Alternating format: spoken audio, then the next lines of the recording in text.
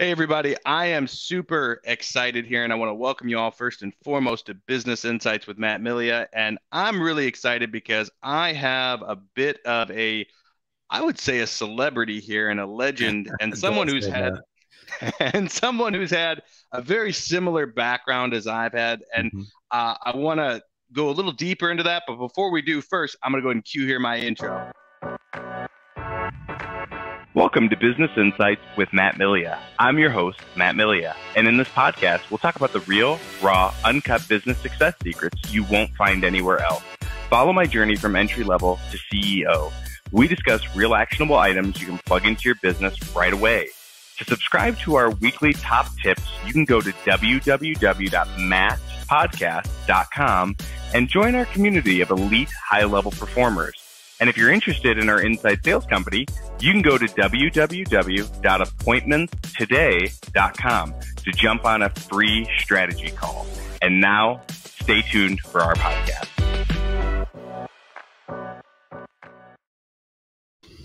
All right. What's up, Chris? How are you?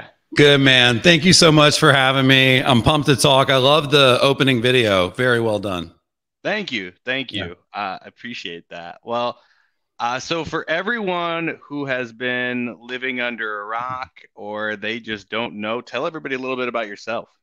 Yeah, I mean, it's. I actually feel like a very, very, very small percentage of people know me, but you know, it's always humbling when people introduce me that way. I just always feel like I'm in startup mode. You know, I have four best-selling business books, and and you know, I have a pretty large following on social. Have started an Inc. 500 fastest growing company have done inside sales for two billionaires and a billion dollar company, helped a couple startups get acquired. Uh, it's just been a fun journey. I worked at realtor.com, worked at Top Producer, and you know, obviously where we met, uh, we, you know, we weren't on the same team, we weren't super buddies, but we were at Quicken Loans at the same time. Right. And you know, anybody that has read the conversion code or followed my stuff, that experience was highly influential educational, inspirational, hard. like, and doing that really made me feel good about going to these other whether it's real estate agents or companies and saying hey here's a really good way to do it because these guys are good. Um, oh yeah. so yeah it's been a fun journey and my new book just came out. That's why we're chatting the conversion code part two.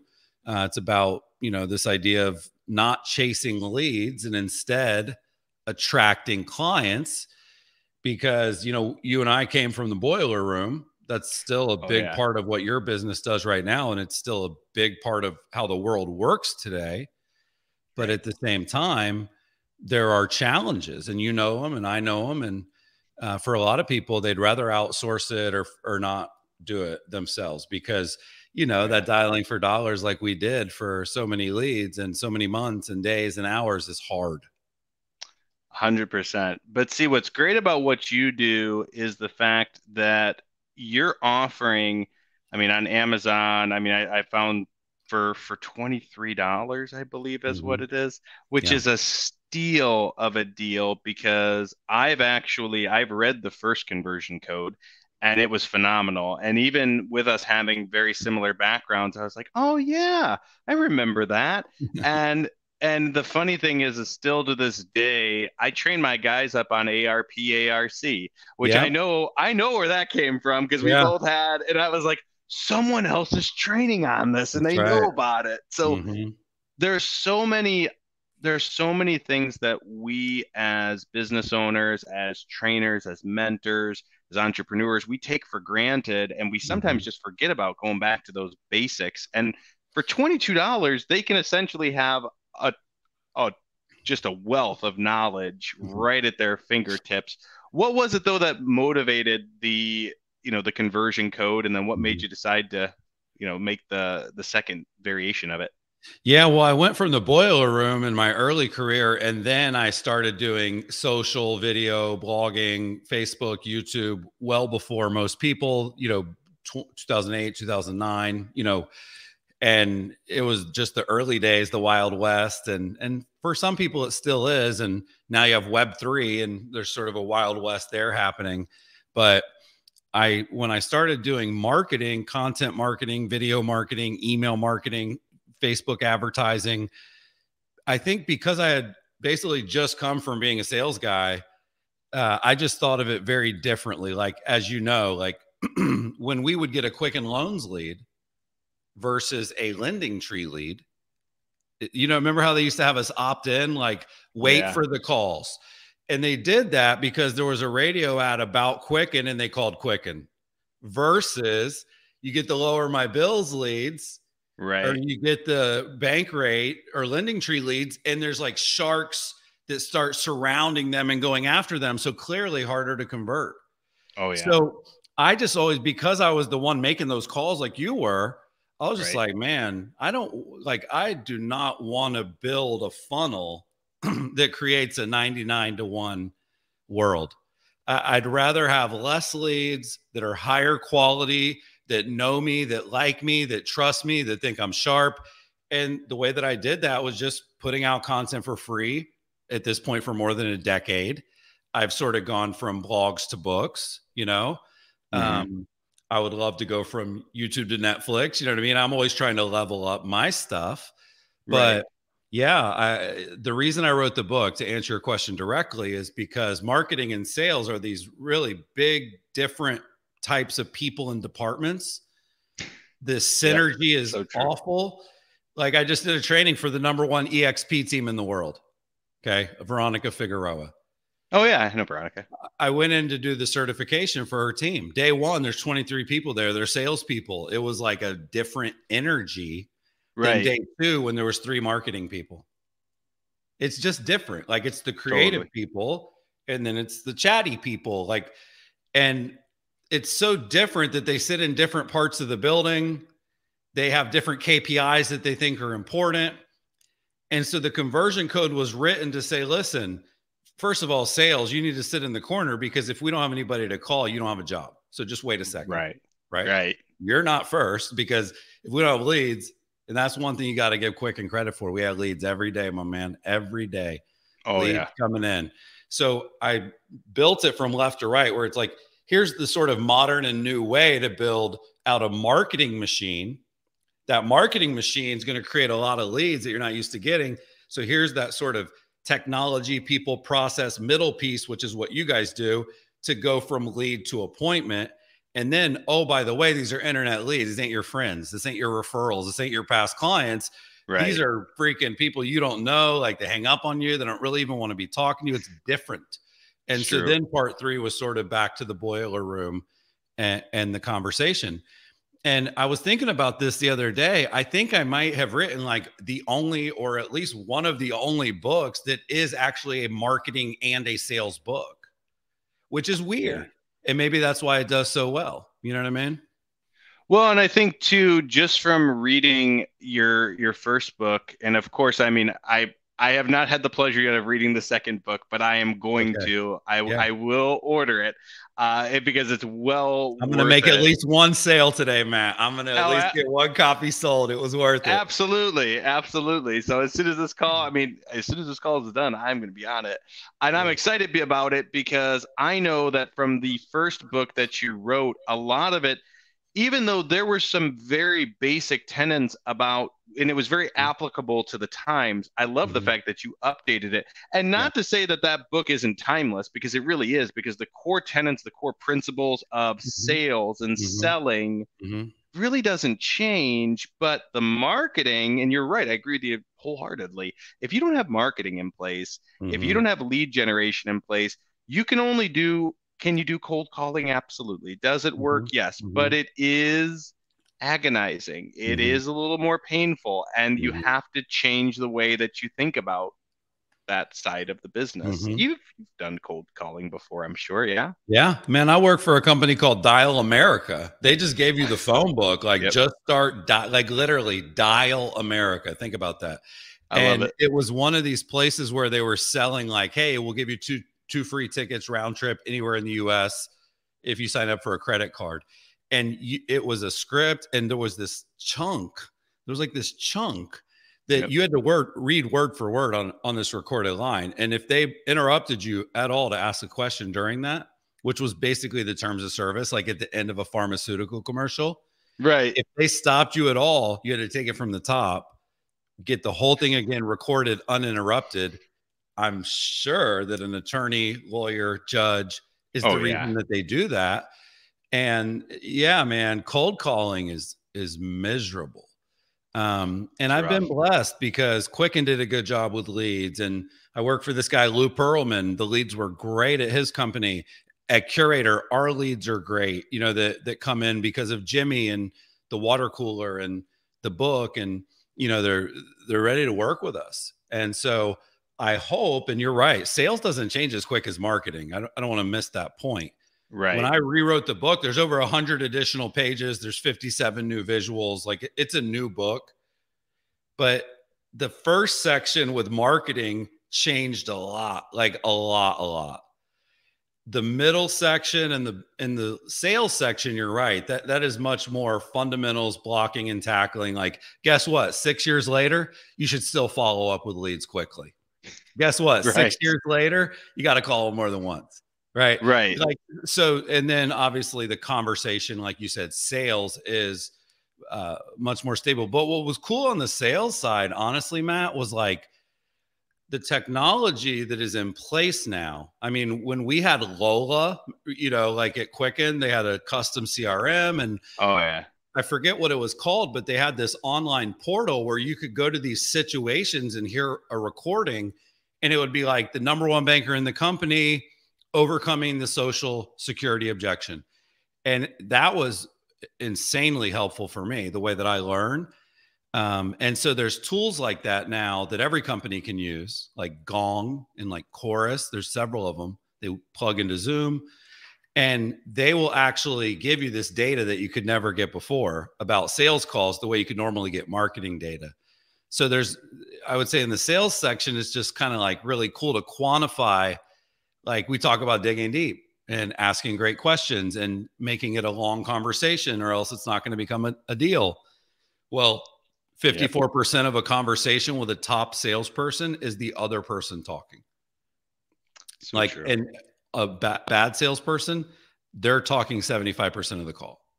So that to me was the most fascinating was like all this like boiler room mark Maisie, dan gilbert you know what i'm saying like that type of just coaching that made sense now there's the science behind it and there's the data to back it up which which i think is really empowering it is. What what location were you at, by the way? I meant to ask that of you. I was at the Quicken Loans in Cleveland. I think we were in the same web center. It just we were just sort of on different sides of the freaking cubicle That's crazy. farm. You know what I mean? Right. That's so crazy. Mm-hmm. So, I mean, yeah, when I was there, I mean, yeah, Mark Maisie was the AVP, I believe, Mhm. or he was, Mhm. uh, RVP, yeah, I mean, something like or that. yeah, right? RVP, yeah. Mhm. I mean, it's crazy because there were so many amazing takeaways from there, and Mhm. I will say that the way they ran their model, I mean, they're constantly providing leads. They're good, solid, high quality leads.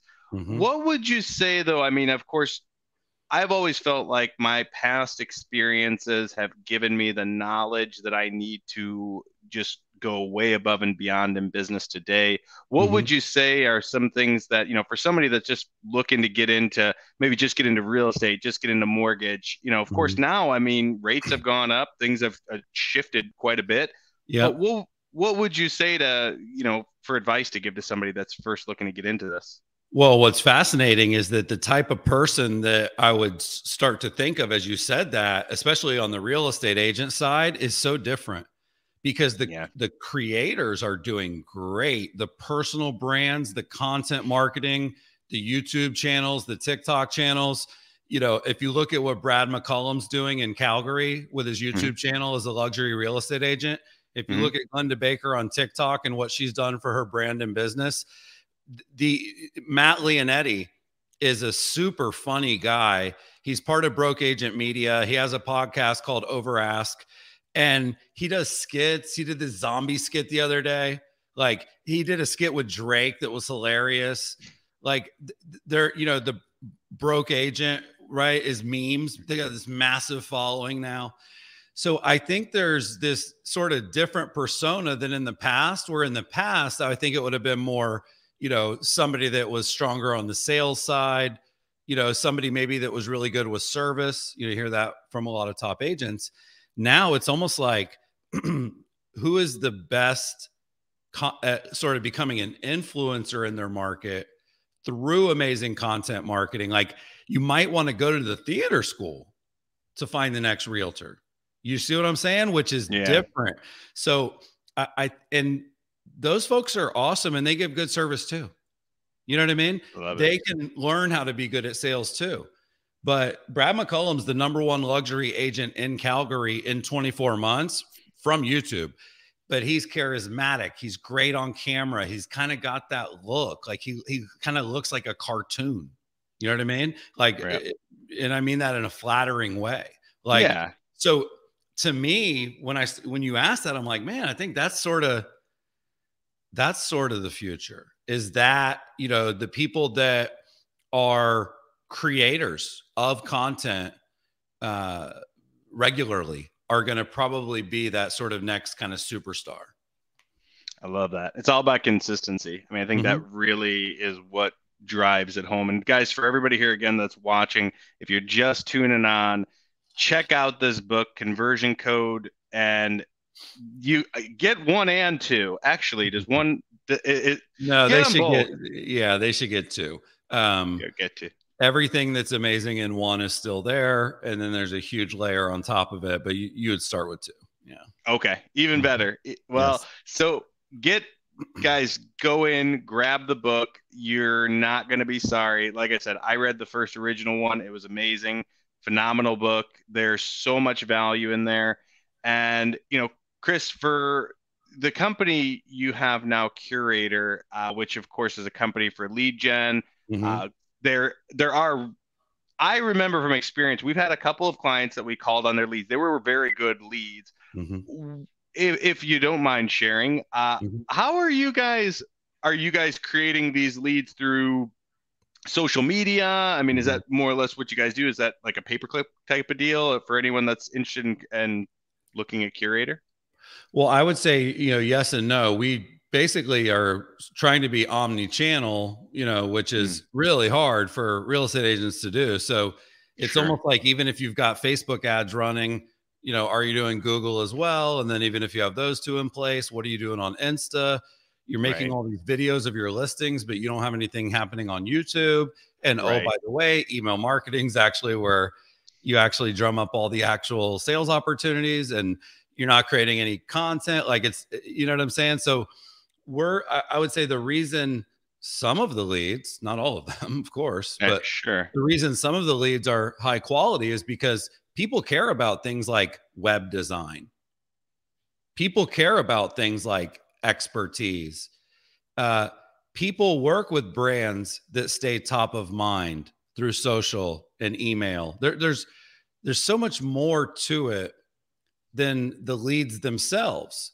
Whereas, in my opinion, in many cases, with with a Google only strategy, mm-hmm you don't really get that upside of building your brand. Zillow's building their brand, not yours. When somebody goes to Google and looks for homes and they end up on your IDX and then you force them to register, that's not building your brand.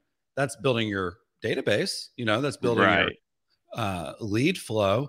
So I think to me, the best leads are the ones that like it when you call, uh, know who you are when you call, uh, right. are looking forward to the call, call you God forbid, right? So right.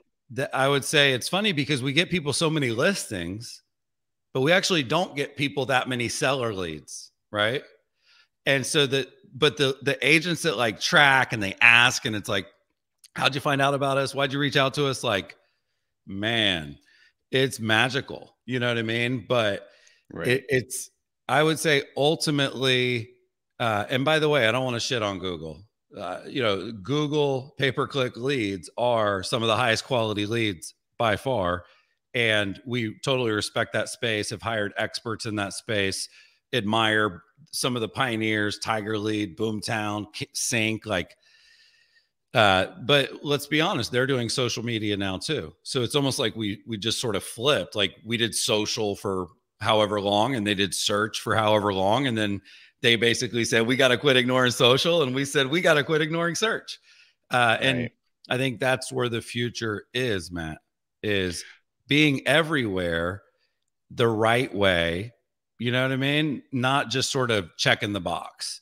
Um, and a lot of that doesn't scale. So just like you have people calling leads, human beings, you know, we have people creating marketing, deploying marketing.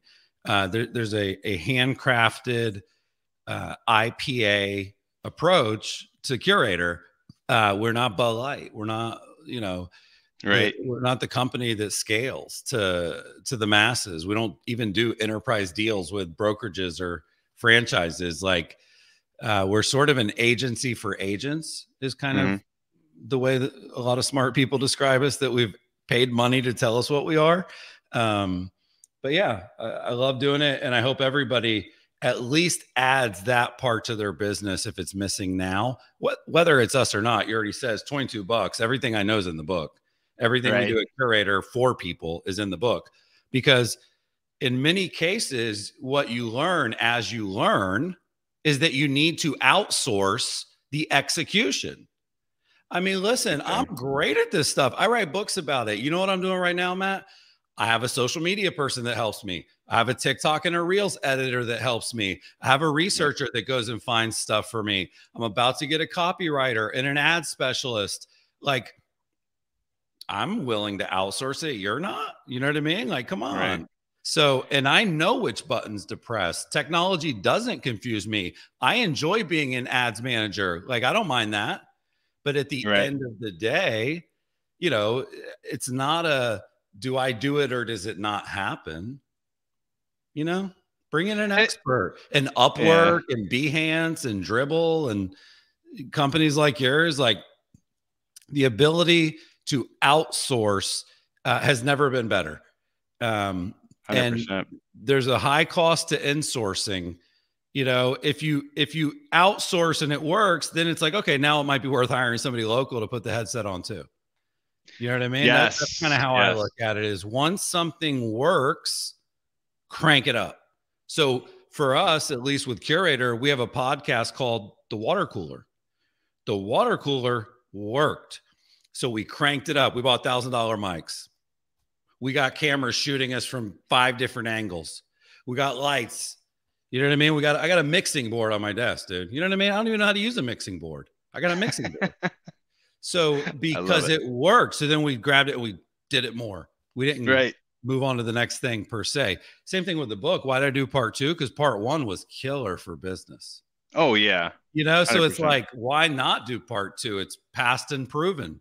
So right. th- that's something I actually try to advise people is like, 80 to 90% past and proven stuff that you're working on, 10 to 20% stuff that's exciting and new. And who gives a shit if it works? Run a Spotify ad, put right. an ad on Hulu, do a TikTok ad.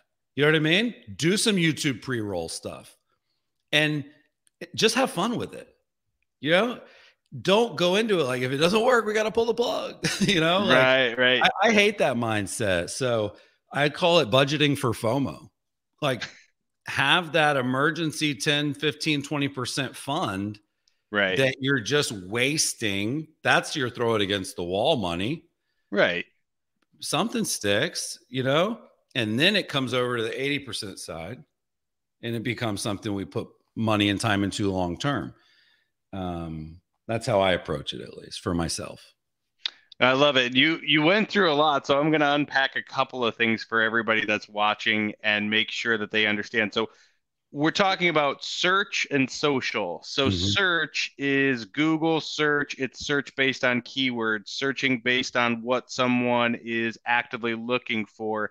Mm-hmm. When you say you know search versus social though social you're talking about more face to camera doing like a market update or uh, doing something like a fun event in the community. Am I right on well, I mean, social media. No, social media. So Facebook ads, Instagram ads, YouTube, Twitter, Got TikTok. It. Like that's what I mean by social. Got but it. it's related because some of the stuff you just mentioned, the videos, the community stuff. Yeah. Guess what does the best on social? That kind of stuff. Uh, yeah. So that's where it's sort of like you don't have to do SEO or pay per click, but if you do Right. Social, what you're really saying is we're going to do content marketing. You know, right. uh, if you want social to sort of work, you have to put good content out.